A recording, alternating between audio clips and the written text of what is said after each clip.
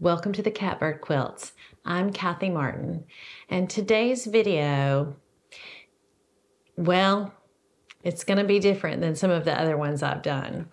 Part quilt story, part how to, part confessional. Who knows? But stay with me because there's one thing we know. I have a lot to say about it.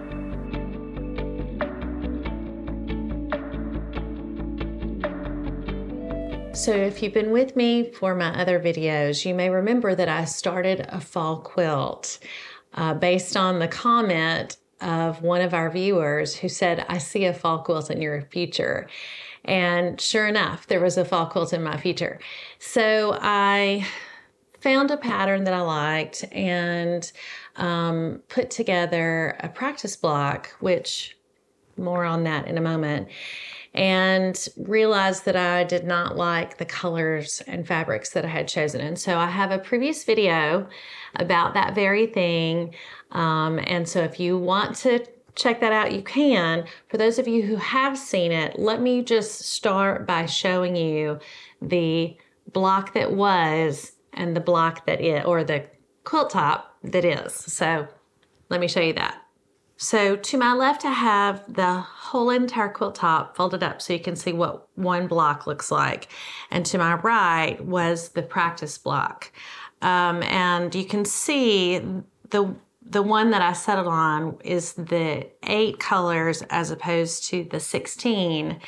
I felt like these colors in the practice block were not really working harmoniously together. And so I simplified and minimized the number of colors and fabrics and ended up with the block and now quilt top on the left. If you can kind of see for yourself, the practice block is actually still really lovely. But my hunch was that as I did more and more of them, uh, it would perhaps have a disjunct colorway. Whereas the one to my left is, because I simplified it, it's a little more harmonious. In all fairness to the quilt designer, the original pattern called for 48 different colors and fabrics.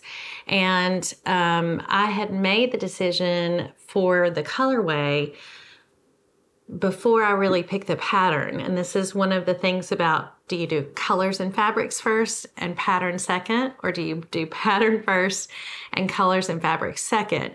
And so I had narrowed it down to two different patterns and ultimately ended up on this one, which is Sunset by Julie Popa, P O P A. And um, so in her original design, in all fairness and kudos to her, if you use 48 different colors and fabrics, if you have a color that's slightly an outlier or even four or five, because of how many they, there are, it gets lost in the shuffle of the whole colorway. Um, so if I had actually followed her pattern to the T and had 48 colors and fabrics, then it probably wouldn't have bothered me so much. Uh, but it did kind of bother me because I had just these, I wouldn't say few, but these um, 16. And so I made a decision to simplify.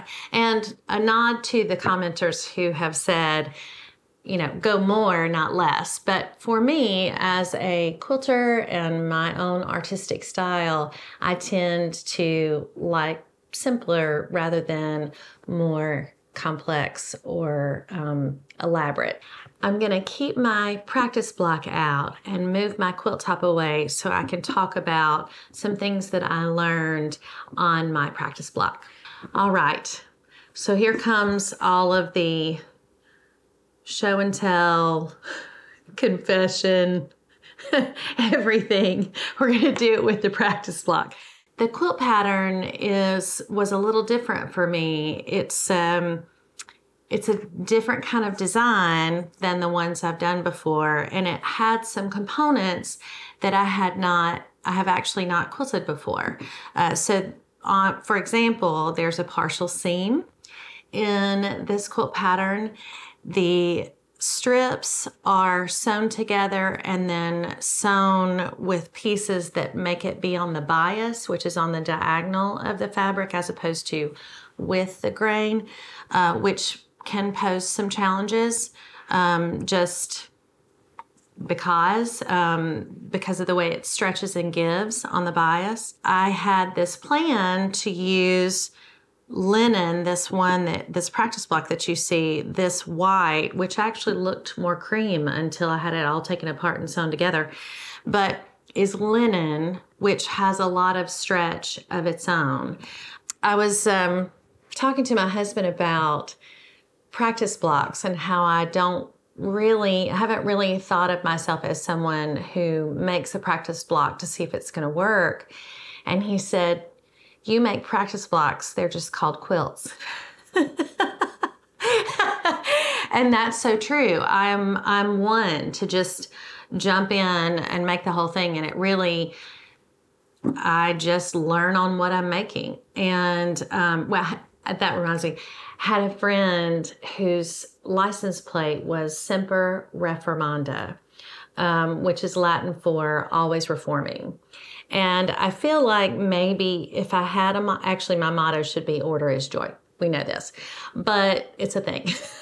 but I could always, I, I could also have um, Semper Doctrina, which is always learning.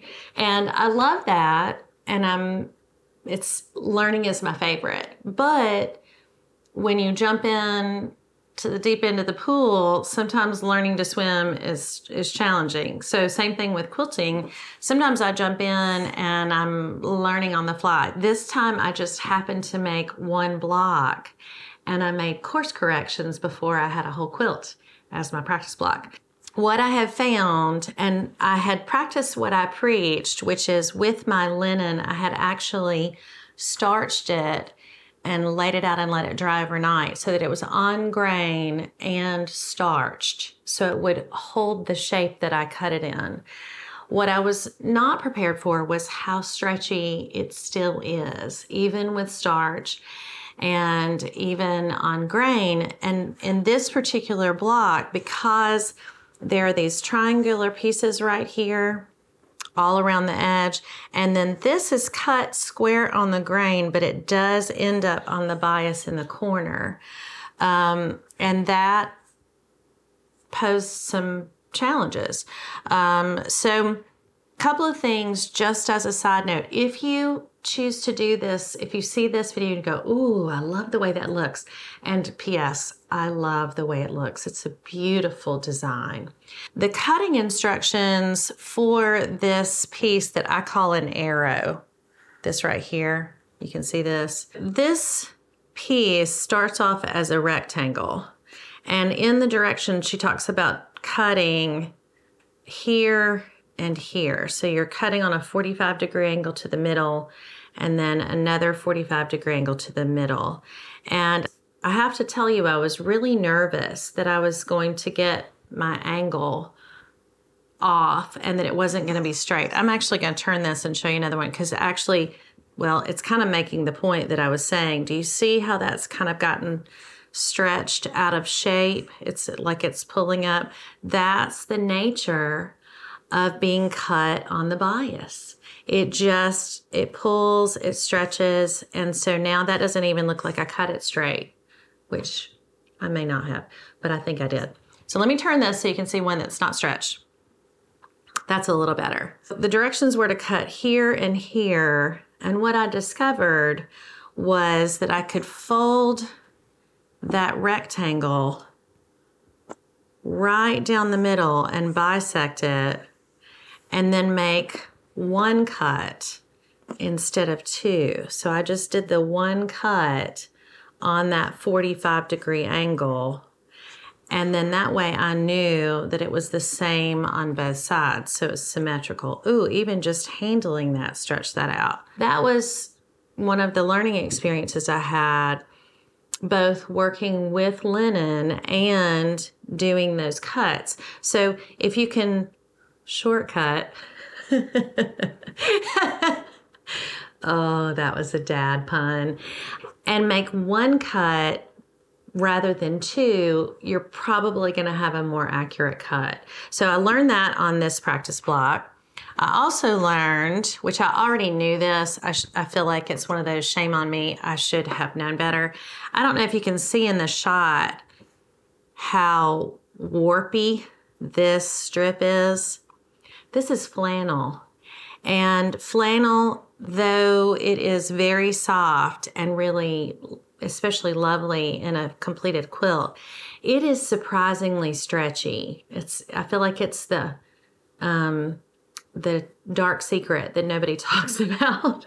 It's kind of a the best kept secret, but not in the good way. A lot of flannels are very stretchy, and this was the case. I did starch it, but I obviously didn't starch it heavy enough. I probably could have benefited from a very lightweight or featherweight fusible interfacing to stabilize it. So it it is whew, it's kind of warpy.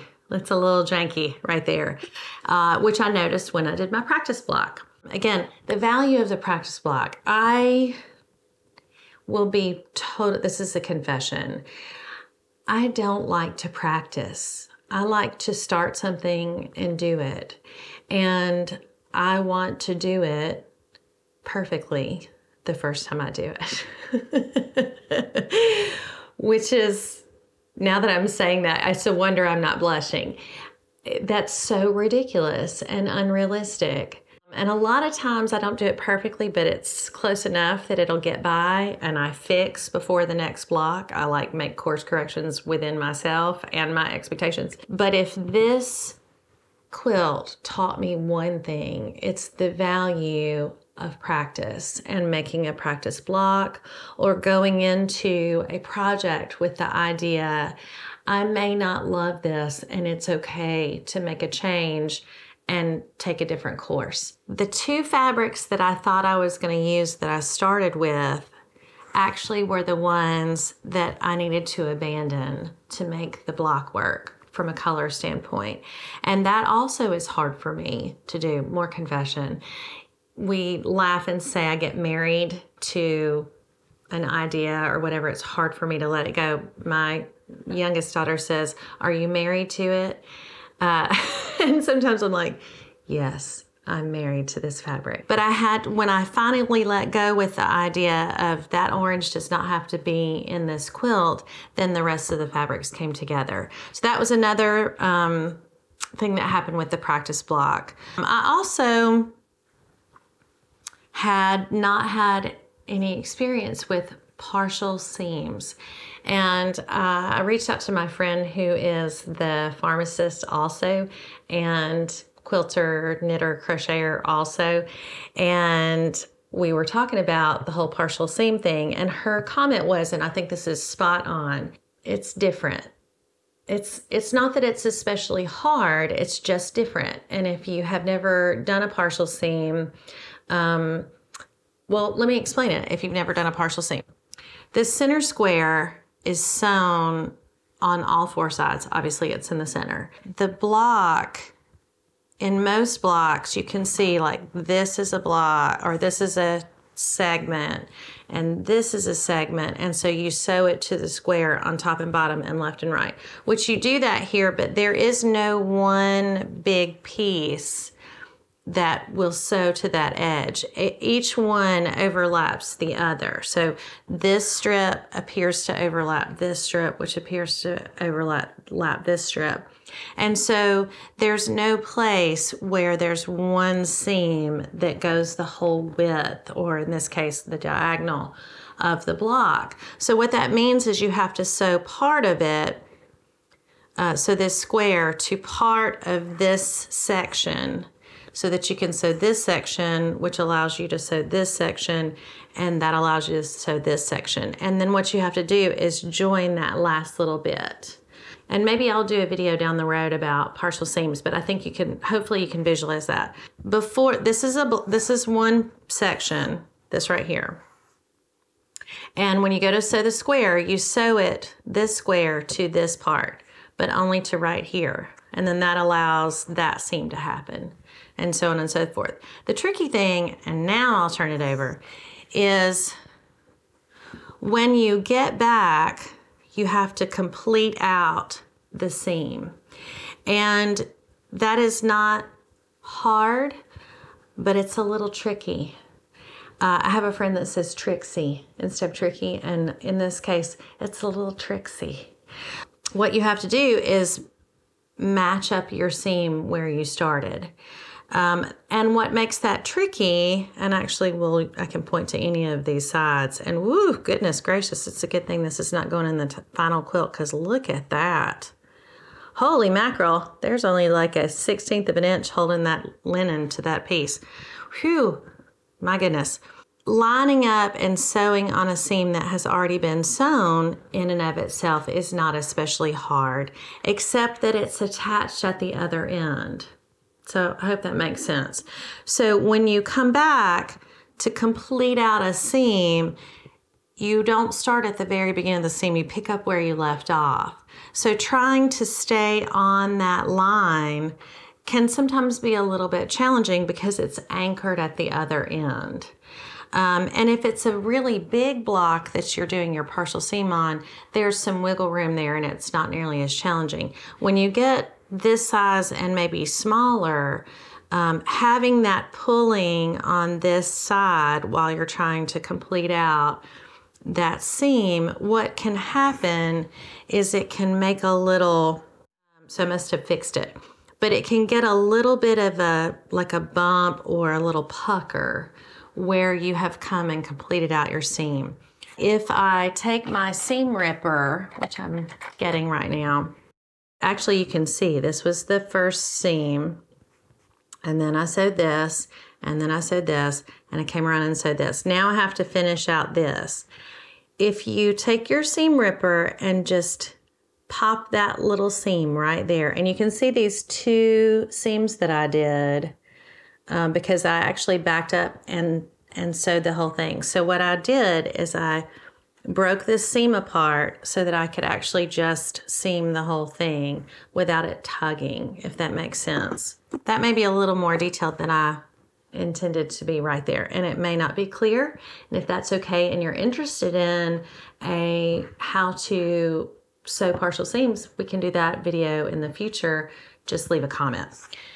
So I made the two blocks um, felt like they did not work together and so I decided that I would just make throw pillows out of them. So let's change over to the, this is the, I don't know what this part of the video is called, but I want to talk to you about making throw pillow. So here is, so same block as a throw pillow. And first of all, gosh, surprising how much smaller it looks when it's puffy. Um, that's just one of those Kathy Martin parenthetical phrases there. But what I did is, uh, and I trimmed my blocks, by the way. Um, I just don't like those rough edges, and so I trimmed it down to 16 and a half on each side, and then knowing that I would lose a half inch in seam allowance. So this is a 16 inch pillow, of course. Semper Doctrina, I learned on this process. So now I have my practice block on top of batting, on top of uh, just a plain white fabric. Uh, by the way, I recently saw that if you have fabric that you have purchased that you just can't find anything to do with it, and it is a reminder every time you look in your fabric stash, like, ugh, I paid good money for that fabric and I'm just not going to use it use it as the backing in a throw pillow because no one's ever going to see it. It's going to be on the inside of the pillow. And then it's been put to use, it's not wasted, and you don't have to figure out how to integrate it into a project. I loved that idea. For those of you, again, who have been with me, you know that I do not like the quilt sandwich. I don't like basting at all.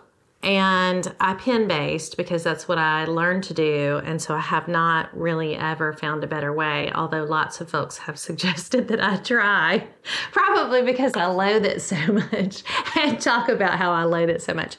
But if you also are a pin baster, let me tell you, spray basting for small projects, the way to go because you don't have any pins in your way. You don't have to do all of that. I mean, it would be easy to pin it, but then because it's a small project, you're working around your pins. So I, on my pillow that I finished, I spray basted the batting to the backing, and then I spray basted the quilt top, quilt block to the batting.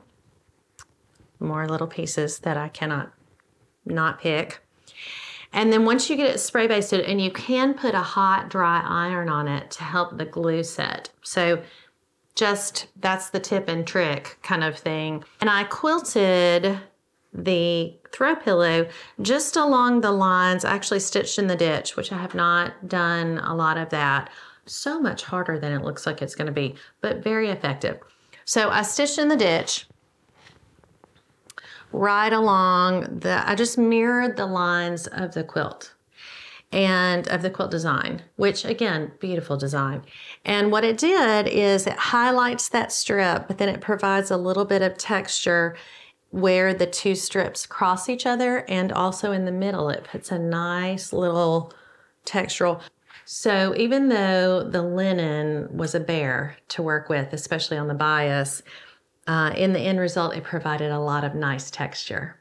I'll do this other block exactly like this one in the quilting and put it together and I'll have a lovely throw pillow. I watched a lot of YouTube videos on how to make an envelope pillow, which I actually knew how to make an envelope pillow. Uh, and if you've not heard that term before, think pillow sham. It's just overlapping fabric on the back. Let me show you. So this is the envelope. So it just pulls apart and you stick your pillow up in there and get it all in the corners. And then you tuck in like an envelope and then pull up the top. What I did not find, even just plain Googling, not YouTubing, is how to know how much fabric to leave. So I understood the concept of I need this piece of fabric for the top and I need this piece of fabric for the bottom and I need enough for it to cover itself so it doesn't, you know, show the guts of the pillow like someone who's eaten too much at Thanksgiving and their shirt's pulling up. But with their little gut hanging out. but like if I, I found a couple that would say, for an 18 inch pillow, use la la la amount of fabric. And I got to thinking about that, and I'm like, I need a ratio. I need a percentage. I need a, there's got to be a formula for how much. So that way, no matter what size pillow I make, if this was a 24 inch pillow, I would know how much fabric. And so I made one up and I'm going to share it with you. So if you decide to do this, it seems to work. So you measure the length of the pillow and then you multiply by two thirds. And that's how much fabric you need for each piece. And that way you have a whole, so you can actually see for yourself, because here's the line of what's underneath. So there's a third of the top and a third of the bottom and a third covers each each part of the middle. So you do two thirds and two thirds, and then you get a third covered in the middle. So now even if the pillow is like really puffy, there's still a lot of room and it's not going to poke out. So if you have been wondering, or if you're going to make a throw pillow, you can use my made up formula. Height of pillow times two thirds, and that's the size of both your top and bottom pieces. And then you're covered, literally. Also, before I move on, Isn't this an interesting color? I don't know that I would say it was pretty. And out of context, I might actually say it's ugly. But with that fall colors, it is so pretty. And it is a pillowcase that I got from the thrift store. So this is that reminder to keep your keep an open mind when you go to the thrift store. So if you see a really ugly brown pillowcase, you can think, oh, I can use that in my fall throw pillow that I made from a practice quilt that was kind of disastrous. So you've got the confession, you've got the how to, some of the quilt story. I wanted to show you the backing fabric that I chose and the binding fabric that I chose. And I have been piecing a lot of my quilt backs lately, but for this quilt, because it is a very strong, specific design, this quilt had some challenges. I really was just ready to have a nice, lovely back that I didn't have to spend a whole lot of energy on. So I picked this, I, I say I, I, along with my youngest, went to the local quilt store and we looked at, I think we looked at every fabric in this color palette in the whole store. And we settled on this one. It actually is a, it's called Hope Blooms. It's a Moda fabric. Um, and it has this lovely little quote on it. Anyway, um, and it just seemed to really work. Uh, it's it's in the orange family, obviously, but it's not. It's kind of like it's the middle between this red and kind of vermilion, and then this this golden pumpkin. It's like it fits right there in the middle, and across the pattern are these little just little checks. There's some green, there's some navy, there's that darker red, and we both agreed that it looked like it was made for it. And then to kind of cap it all off, we settled on a nice brown that just really drives home the point as if it were not already so plain that it is the fall quilt. So I may or may not end up doing a for real live quilt story on this when it's all said and done. Um, so if, if I don't, you'll be able to have seen the backing and the binding. I'm going to hold up the quilt so you can see the look of it um, and how it came together. There was a final thing that I wanted to say. I was talking to another quilting friend about um, matching up seams on the diagonal, which you can see that's at every join. Um, it you know it comes together here on this seam and they're all diagonals and she um, asked me, I did not press my seams open. I pressed them to the side. And so one block is pressed to the dark side and the other block is pressed to the light side. And she said, Why didn't you just press them open? Great question. Besides the fact that I really do not enjoy pressing seams open, which probably is the real story.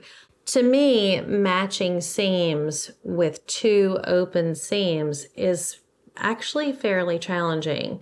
Um, you have, I guess you don't have to do a lot of pins, but for me, uh, when I put two open seams together, I feel like I have to put a lot of pins to really anchor it in the right place. And if I get to going too fast when I'm sewing, it will still pull and I want them to line up.